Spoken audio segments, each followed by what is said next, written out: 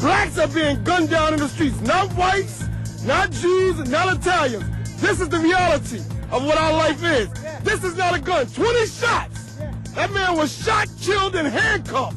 This is the reality of it. And yes, we are going to take the retaliation. Everybody listen up right now. We're not going to water this down. We're going to march over to the precinct, just like they kill us in the street. No justice, no, peace.